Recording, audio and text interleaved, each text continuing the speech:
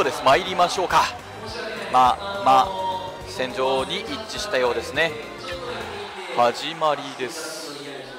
私の単独実況でお送りすることになってしまいました。ゲインマック VS しみたけソニック。はいしみたけさん。えっ、ー、とピカチュウはあれですよね。使ってるという証言があったんですけれどもおそらくこれは対マック用のキャラです。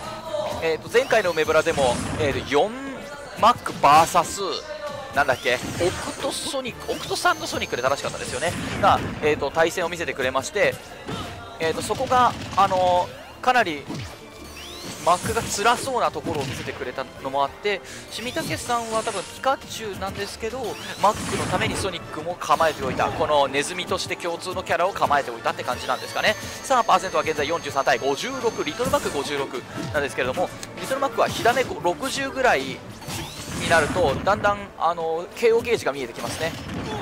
さあ KO ゲージ本当に見えてきて KO ゲージ溜まっちゃった。これがやばいぞ。5秒間は KO ゲージが耐えられおっとこれは抜けるぞ。こうやって KO ゲージがなくなってしまう。5秒以上経ってから投げられるとまたは強い吹っ飛ばしに合うと KO ゲージはなくなってしまうぞ。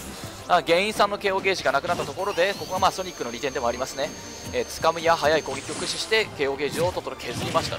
そこを利用してなんとかソニックがバーストにつなげたいところ。この隙をついてバーストをしたいところ。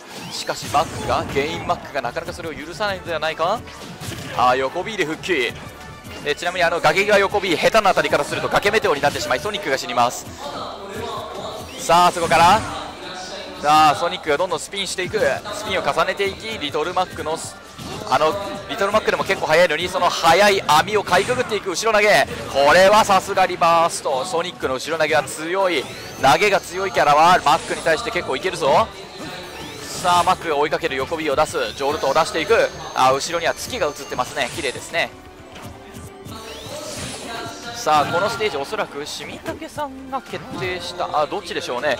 えー、っとマックはですね壁キックでの復帰が可能なんですけれどもえーと、壁キック復帰がしづらいコース設計になっております。今のはカウンターですね。カウンターで結構強い技をバースあのカウンターしてバーストしちゃいました。で壁キックできるところがこのスターターからですと、えー、おそらく僕の考えが正しければワイリー基地しかないんですかね。となりますとマックにはかなり辛いかもしれませんが一応マックには崖メテオがありますのでそれをなんとか生かしていきたい立ち回りだと思います。さあカウンター出したがそこが無情にも掴まれる。しみたけソニックがこれ掴んでいく。横スマを出していくが崖を掴むゲインマック。さあ地上戦どうする？この地上戦でソニックに分がある。マックがソニックに地上戦で負ける。結構珍しい図ですね。マックは本当地上最強のはずなんですけれど。おっと KO パンチを外してしまう。これは痛い。26%でも KO パンチは当たると死ぬので。今のは当てれば結構美味しかった。回避読みだったんですけどね。さあ40代98さあどうする？このリトルマック。さあ崖外から試合を展開していくぞ。このしみたけソニック。おっと上 B が結構威力あるぞ。これはバーストするのが怖いぞ。さあしみたけソニック崖際にまた陣取り掴んだ。これは行くぞ。飛ぶぞ。単純に飛びすぎるからマックは？帰ってきた。あジョルトが横スマに負けた。やばい。というわけで1本目を制していたのがしみたけソニック。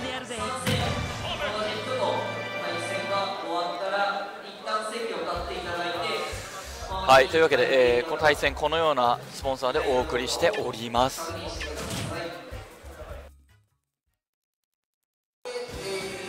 はい、今回の大会はですね優勝がゲーム8さんの協賛で WiiU というものになっております、まあ、スマブラやってる方なら WiiU1 台持ってるかもしれませんけれどもやっぱり Wii 欲しいですよね。欲しい。だからこそだからこそ経緯にもなっている練習のためにやっぱり周り5人ぐらい家に来た時に欲しいですからね。またえプレイヤーによっては Wii を持っていません。自分が普段どこかにオフ会場に練習に行ったりする人は Wii を持ってないので、えー、そういう場合もあの WiiU が手に入るとお得ですね。さあここで芸人さんはどのステージを選んでいくのか。手高ガウルヘーゲン。やはりここはジョルト崖メ崖メテオかさあ敵との対峙。この曲が選ばれてしまった。なぜか僕の WiiU だから僕の好みの曲が確率高くなっているからですね。配信台はあの SHIG アイファの WiiU でお送りしております。ダウンロード版です。さあジャクジャクでソニックがダメージを稼いでいくがそこに無情のカウンターが入る。上スマアーマーだぞ。ジャクジャク。さあダメージを与えたことによってマックの KO ゲージが溜まっている。ここもマックの怖いところ。F10 の召喚獣みたいにガードガードはどうだったっけな？あのダメージでも火ダメでもあの KO ゲージを貯めることができます。さあ下スマホフルバック横強ワンツーが強いぞ。コンボがおかしいぞこのソニック。さあダッシュ A で浮かせてもう一回浮かせれば KO ゲージ消えるぞ。あさし KO ゲージ消えましたね。そしてマックはこれで無慈悲にもバースト。この下投げがマックには噛み合ってしまっている。さあマックジョルトを出してここからどうやってソニックをバーストしていくのか。まあ見どころですね。マックこのソニックを攻略できるか。ジョルトこれ刺さったら怖い。さあ空上で繋いでいくソニック。さあまた崖際で 戦略を組み倒すぞ。これはセットプレーをしていくぞこのソニック。横スマ見ている。セットプレー以外も強い。あ横スマシミタケソニックがどんどん立ち回りを圧倒していく。上スマを出したマックゲインマック。これが下投げが入っていく。ジョルト。ジョルトにごまかしで本当横スマ出した。横スマアーマーで普通入るんですけどシミタケさんのタイミングが絶妙にかめ合った。上スマ根元じゃないから炎は出ないが結まああれでもあんだけ飛ぶんですね。おっと KO ゲージが溜まった。このパーセントで KO ゲージは良くない。上に上 B が当たってしまいスプリングで崖メテオ2本目を取ってシミタケソニックがゲインマックを下していきましたね。ゲインマック結構な実力者ではございますがソニックの前に屈してしまいましたね。ネズミ使いのシミタケさん勝者が2回戦進出です。ありがとうございました。